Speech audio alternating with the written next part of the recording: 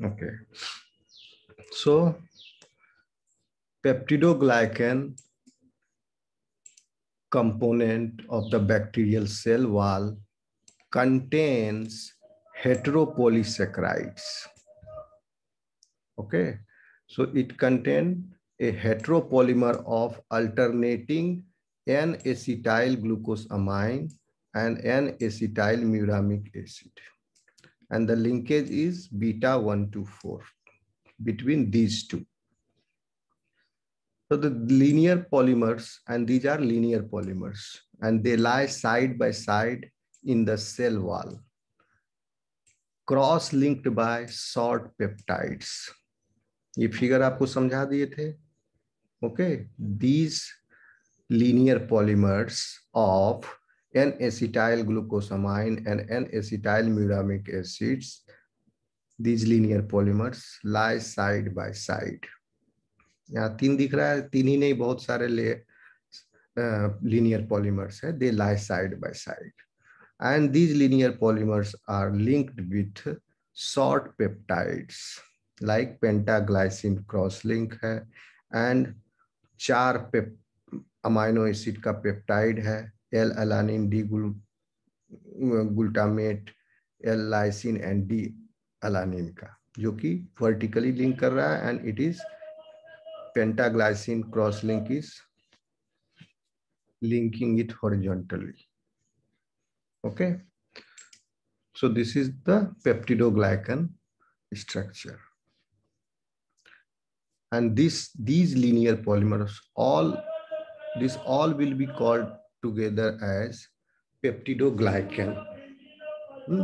And these linear polymers are glycan. और glycan में भी कौन सा है these are polysaccharides heteropolysaccharides made up of two types of monosaccharides modified hexoses okay these modified hexoses are n-acetyl glucosamine and n-acetyl muramic acid clear है ये sir peptidoglycan का sir exam में अगर आया हेट्रोपोलीसेक्राइड क्या है बताने के बारे में शॉर्ट नोट आया तो लिख दोगे ठीक है कि एग्ज़ाम्पल देके लिखोगे नंबर वन लिखोगे पहले हेट्रोपोलिसक्राइड का डिफिनेशन बताओगे, फिर with examples number one heteropolysaccharides are present in peptidoglycan component of the bacterial cell wall फिर in peptidoglycan heteropolysaccharide of of N-acetyl glucosamine and N-acetyl muramic acid are present. ऐसे करके लिखोगे so the peptide cross link ये एक तरह से welding कर रहा है peptide cross linking weld the polysaccharide chains into a strong sheath and that strong sheath is called as peptidoglycan ठीक है? पूरा वेल्डिंग होने के बाद जो बना this whole structure is called as peptidoglycan and this peptidoglycan layer और sheath envelops the entire cell and prevents cellular swelling and lysis due to the osmotic entry of water. Because these are present on the unicellular cells. Okay? So the unicellular cells are required. They, these unicellular cells should have the should have a rigid boundary. Because it is existing as alone unicellular cell. Multicellular cells may there will be special cells which will be defining the boundary of the body. But in unicellular the plasma membrane should be tough and plasma membranes should have additional sheets or envelope outside to it so that that cell withstand the osmotic pressure if it is present in an aqueous medium. Okay or other type of prevention mechanism. So this layer is there. So the enzyme, up here. This is a protective layer present outside the bacterial cell wall. Okay. And this, this can be hydrolyzed by enzyme, this peptidoglycan layer in that peptidoglycan layer, the site of cleavage is beta 1 to 4 linkage. So this beta 1 to 4 linkage present between N-acetyl glucosamine and N-acetyl uramic acid can be broken by enzyme lysozyme. Note here that beta 1 to 4 linkage present in cellulose or chitin cannot be broken by the lysozyme enzyme. Lysozyme. Lysozyme can break beta 1 to 4 glycosidic bond present only between acetyl glucosamine and uramic acid. So lysozyme enzyme is present in. Do you have lysozyme? Yes, sir. Where? Tears में saliva में Ears में होता है saliva में नहीं Okay. Saliva में amylase है So the peptide cross-linked weld polysaccharide chain into a strong sheath peptidoglycan that envelops the entire cell to prevent the cellular swelling and lysis due to osmotic entry of water. The enzyme lysozyme kills bacteria by hydrolyzing beta 1 to 4 glycosidic bond between N-acetyl glucosamine and N-acetyl muramic acid. This enzyme is found in human tears where it is presumably a defense against bacterial infection of the eye. One second, कौन call कर रहा है hello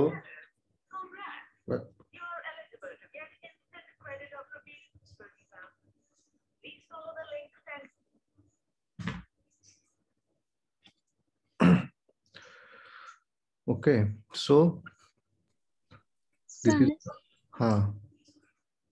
sir saliva में भी पाया जाता lysozyme antibacterial agent के रूप में। सलाइवा में भी है।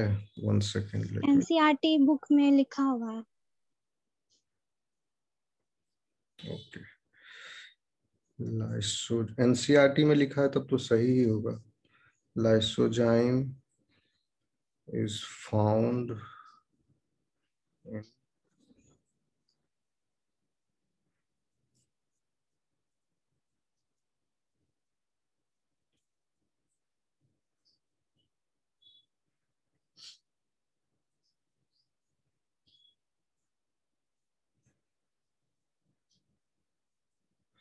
Lysozyme is present in the salivary secretion and a low level has been reported for the bile and pancreatic juice also. It has been found to be absent from the digestive material of rabbit stomach and small and large intestine as well as from the intestinal secretions taken from temporary fistulae placed at the duodenal and jejunal ileum and colic levels. However, secretions obtained by permanent intestinal and gastric fistulae showed, the, showed high enzyme levels. Lysozyme is thus probable plasmatic origin. The question of, yes, lysozyme is present in saliva also.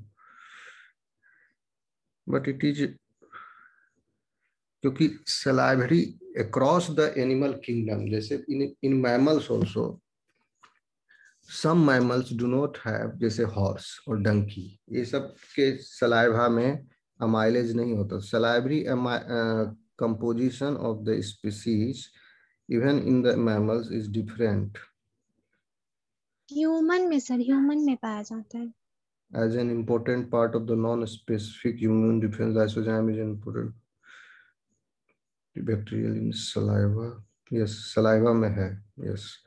It participates in the host non-immune defense against bacteria, maintaining steady state equilibrium. Which enzyme is present in saliva? Saliva also contains lysoenzyme and enzyme that lyses. Yes. Okay. ठीक है correct कर लिए saliva में भी it is present human tears में भी है okay so where it is presumably a defence against saliva में और भी एंजाइम्स है इसके अलावा a defence against bacterial infection of the eye and is also produced by certain bacterial viruses bacteria का जो वायरस है बैक्टीरियोफाज कहा जाता है उन्हें those bacterial viruses also have the gene of this okay lysozyme तो ताकि वो बैक्टीरियल सेल वाल को पेप्टिडोग्लाइकन के लेयर को तोड़ सके to ensure their release from the host bacterial cell an essential step of the viral infection cycle तो bacteriophage के पास भी है। पेनिसिलिन जो कि पहले एंटीबायोटिक एज ए यूज़ होता था। Penicillin and related antibiotics kill bacteria by preventing synthesis of the cross link leaving the cell walls too weak for the race weak for to resist osmotic lysis यानी ये cross linking जो है peptidoglycan में this cross linking is inhibited by is inhibited by penicillin that is why penicillin work as antibiotic तो इस cross linking inhibit हो गया तो bacterial cell wall becomes weak okay to resist osmotic lysis अपने आप osmotic lysis हो जाएगा bacteria का। Certain marine red algae. This is this one is commercial present in the natural system, but they have use in the commercial also. So this type of heteropolysaccharides are, are is called as agar. And they are present in certain types of marine red algae, including some of the seaweeds. Seaweed have cell walls that contain agar. Red algae के cell wall में अगार नाम का एक sulphated हेट्रोपोलिसेक्राइड मौजूद है sulphated हेट्रोपोलिसेक्राइड है ठीक है तो सल्फेटेड ग्रुप जब है तो sulfated group will contribute negative charge to it okay अब हम लोग देखेंगे ऐसा पोलिस हेट्रोपोलिसेक्राइड्स ये सब सल्फेटेड नहीं था, इस पर निगेटिवली चार्ज ग्रुप्स नहीं है। Okay okay? और इवन होमोपोलिसेक्राइड्स भी सल्फेटेड नहीं था। आगे हम लोग देखेंगे सल्फेटेड एंड पायरुवेटेड पॉलीसेक्राइड्स इसलिए क्योंकि उनके ऊपर निगेटिव चार्ज होना ज़रूरी है for their function special function so a mixture of in this agar, there is a mixture of sulfated heteropolysaccharides. And these heteropolysaccharides are made up of D-galactose and an L-galactose.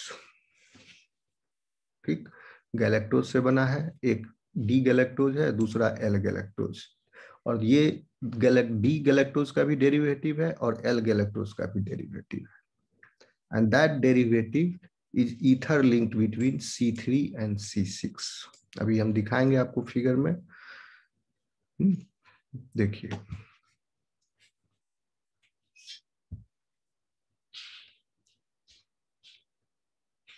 दिख रहा है आपको ये figure agarose का?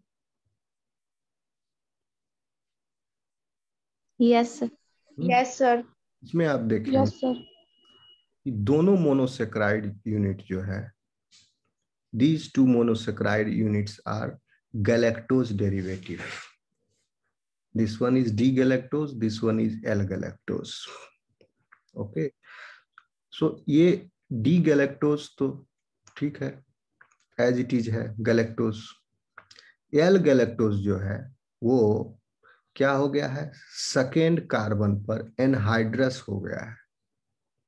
ठीक? और that anhydrous group is sulfated anhydrous मतलब hydrogen निकल गया। ऑक्सीजन ही रह गया। हाइड्रोक्सी से हाइड्रोक्सी से एनहाइड्रस हो गया।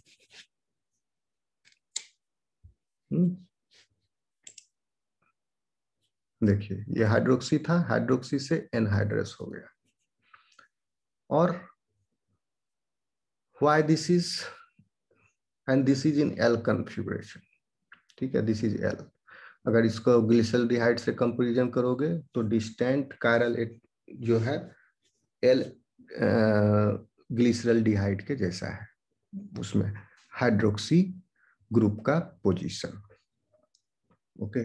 So second carbon is anhydrous and sulfated, as well as carbon number fifth से कार्बन नंबर सिक्स जुड़ा हुआ था C H two O H जैसे इसमें है। कार्बन नंबर फिफ्थ से carbon number six C H two O H यहाँ पर कार्बन नंबर फिफ्थ से C H two O H is ether linked with carbon number three यानी इस photo में अगर आप समझो तो थ्री से फिफ्थ सिक्स कार्बन के बीच में ईथर लिंक है, ठीक है? तो इसका ऑक्सीजन से एक बॉन्ड बना एंड दैट ऑक्सीजन का second bond is with the carbon number six and carbon number six is bonded with carbon number four fifth so एक ईस्टर लिंकेज है, और second carbon is anhydrous and sulfated and this disaccharide unit is repeated many times in this agar or agarose. Okay, you can say. So the bond between them are beta type, beta 1, 4. Okay. और इस disaccharide unit के अंदर में beta one four है इस disaccharide unit के बाहर में bond is beta 1 3 so this one carbonyl carbon यहाँ पर आपको reducing end जैसा लग रहा होगा this reducing end if joined with the third carbon of the D galactose यहाँ पर एक और galactose हो जाएगा नॉन मॉडिफाइड डी गैलेक्टोज उसके बाद फिर L galactose anhydrous and sulfated का नंबर आएगा फिर तो उसके बीच में दो डाइस दो डाइसेक्राइड यूनिट के बीच में, डाइसेक्राइड के अंदर है alpha, beta one four, but दो डाइसेक्राइड यूनिट के बीच में है, the bond is alpha one three. ये थोड़ा सा आगे पीछे हो गया है, alpha one three. And the repeating unit is repeating unit is D galactose beta one to four, three six anhydrous three six के बीच में ईस्टर लिंक है anhydro L galactose two S two के साथ टू कार्बन के carbon number two पर क्या है? एस इंडिकेट्स सल्फेट ग्रुप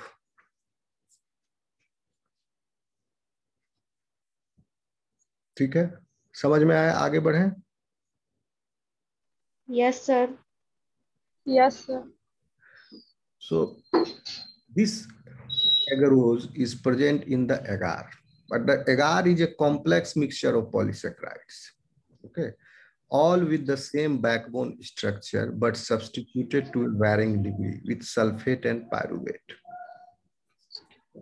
तो कॉम्प्लेक्स मिक्सचर ऑफ़ पॉलीसेक्राइड क्यों कहा गया क्योंकि बैकबोन तो सेम है like this as you have seen galactose और एनहाइड्रस गैलेक्टोज का डाइसेक्राइड रिपीट यूनिट है sulfated anhydrous galactose L galactose का। हम्म।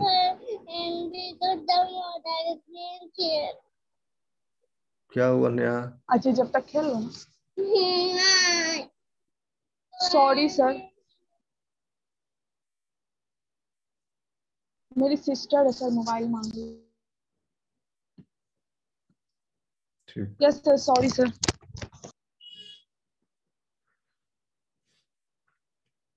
okay so agar is the complex mixture of polysaccharide तो ये पोलिसक्राइड में बैकबोन इज़ सेम यही वाला डायसेक्राइड बट सल्फेट किसी किसी में सल्फ अब आप समझो कि this is a long chain linear chain तो some are sulphated some are non sulphated तो सल्फेशन का डिग्री वेरी करेगा। हम्म, किसी में ज़्यादा सल्फेशन हो रखा है किसी में कम है तो जितना ज़्यादा सल्फेशन है उतना ज़्यादा निगेटिव चार्ज है। That is why it is called as a complex mixture of polysaccharides with varying degree with sulfate and pyruvate. यहाँ पर पायरुवेट भी हो सकता है सल्फेट ग्रुप की जगह। एग्रोज का मोलिकुलर वेट है around 150 kilodalton. And this is the agar component with the fewest charge group, that is sulfates and pyruvates. Okay, so this is agarose and the repeating unit consists of D-galactose beta-124 linked to 3,6 and hydro-L-galactose in which an ether bridge connects the C3 and C6. These units are joined by alpha 1,3 glycosidic links units. कौन unit? Disaccharide units. to form a polymer of 600 to 700 residue long. Okay. And a small fraction of 3, 6 and hydrogalactose residues have a sulfated ester at C2. इसका अलग variety भी है तो उतना ऊपर ऊपर आप समझ लो इसको। ठीक है? तो हेट्रोपोलिसक्राइड में दूसरा एग्ज़ाम्पल क्या हो गया? आपका स्ट्रक्चरल था।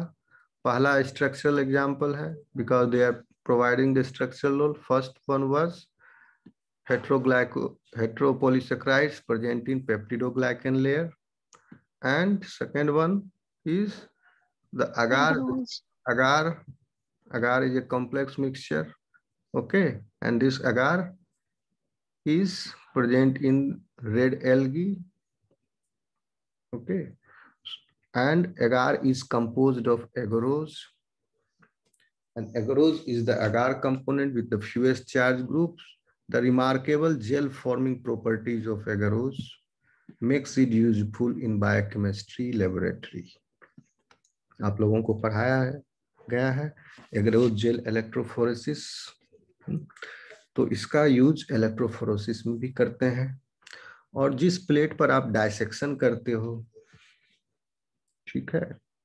एक्चुअली उस वो तो वैक्स होता है वैक्स्ड प्लेट ठीक है?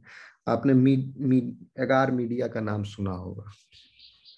ओके जिसमें बैक्टीरियल कॉलोनी को ग्रो करते हैं मीडिया प्लेट तो उस सब में भी एगार को यूज़ किया जाता है। the remarkable because of its remarkable gel forming properties किसका एगरोज का एगार का नहीं the remarkable gel forming properties of agarose makes it useful in biochemistry laboratory okay so when a suspension of agarose in water is heated and cooled the agarose forms a double helix two molecules in parallel orientation twist together with a helix repeat of three residues. And like this, agarose forms a matrix-like network. Okay, and between these meshes, there are pores. So as you increase the presentation of agarose in this suspension, the pore size decreases. So water molecules are trapped in the central cavity. So उस pore में water molecules भी है ions भी है, और जो जिसका आप माइग्रेशन करोगे electrophoresis your molecule of interest for example DNA that will pass through these pores so these structures in turn associate with each other to form a gel a three dimensional matrix that traps large amounts of water So agarose gels are used as inert supports for electrophoretic separation of nucleic acids, an essential part of DNA sequencing process. Okay, so DNA का experiment जो भी होगा, जैसे if you have isolated DNA, then you will check whether your preparation or the mixture that you have obtained at the last of the experiment in the DNA isolation procedure, whether that solution contains DNA or not. Then what you will do, you will cast an agarose gel, you will put your sample in that, in the well created in that gel, then you will electrophorese it, and then you will see under the UV light whether the DNA is there or not.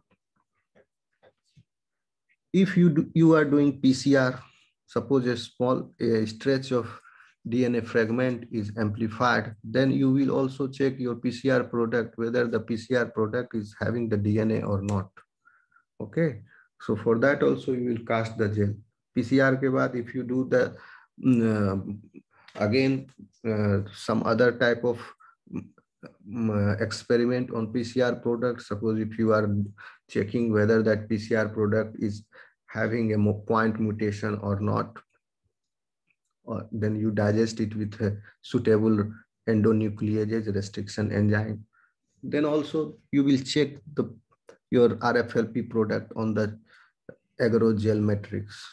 Okay, थोड़ा सा और advance कर लो DNA को sequence करना है so for the that also you will be needing agarose gel matrix okay so agarose का बहुत ही ज़्यादा यूज़ है molecular biological molecular biology techniques में। ओके एग्रोज का। और एगार जो है is also use to form a surface of growth for bacterial colonies तो प्लेट में एगार को डाल दिया जाता है as a medium so using agar as a source of energy bacteria grows on that medium तो जहाँ पर भी कॉलोनी बैक्टीरिया की बढ़ती है suppose you have inoculated at a point only few hundred bacteria in the agar medium as the time will progress the bacterial colony will also expand they will divide so what you will observe after a few days that at the point where you have inoculated the bacteria in that plate over the agar medium that point will become larger and it will look like a plaque so there is a plaque formation so in so the appearance of plaque over the agar medium plate indicates that the bacterial colony has expanded. Okay, so they have expanded on the cost basis on the cost of what? From where they have got the energy or the medium. Okay, so from the medium, that the agar medium, they have taken the glucose from there. So agar is also used to form a surface of for the for the growth of bacterial colonies तो glucose उससे कैसे लेगा agar में क्या है galactose है modified galactose है so bacteria have the pathways to for the conversion of d-glucose do d-galactose and the modified form of L-galactose into glucose. They can derive the glucose from that. So agar is also used on the surface. Another commercial use of agar is for the capsules in which some vitamins and drugs are packaged. Capsule का जो covering है वो आजकल तो gelatin से बनाया जाता है बट पहले अगार से बनाया जाता था So the dried agar material dissolves readily in the stomach and metabolically inert. You can not digest agar agar को आप खा करके एनर्जी प्राप्त नहीं कर सकते बट बैक्टीरिया कैन ओके आगे बढ़े। Yes sir okay now coming to the another class of heteropolysaccharides which are called as glucosaminoglycans glucosaminoglycans okay. Sir i have to ask something. हाँ पूछिए। सर बीजीए की जब बात करते हैं तो उसमें तो एन एसिटाइल ग्लूकोजामीन और एन एसिटाइल म्यूरामिक एसिड होता है। किस किसकी बात कर रहे हैं? ब्लू ग्रीन एल्गी की sir blue green algae blue green algae yes तो उसके सेल वॉल में तो सर एन एसिटाइल ग्लूकोजामीन और एन एसिटाइल म्यूरामिक एसिड होता है ना सर हम्म। तो उसको भी तो इसमें ही रखेंगे? देखिए, सेल वाल का कंपोनेंट है पेप्टिडोग्लाइकन।